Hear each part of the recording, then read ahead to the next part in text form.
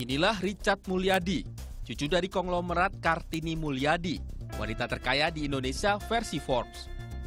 Selasa dini hari, Richard diamankan oleh polisi di toilet pusat perbelanjaan SCBD Jakarta Selatan karena tertangkap basah menggunakan kokain.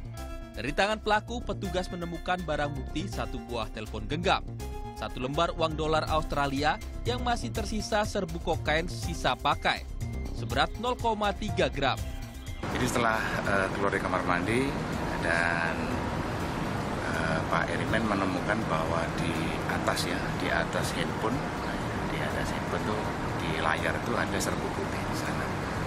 Karena yang adalah seorang reserse dan dia mengetahui dan dan dibawa, ya, akhirnya dibawa uh, barang bukti tersebut.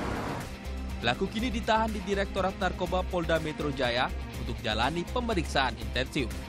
Polisi juga masih memburu seorang DPO berinisial ML selaku bandar yang menyuplai kokain.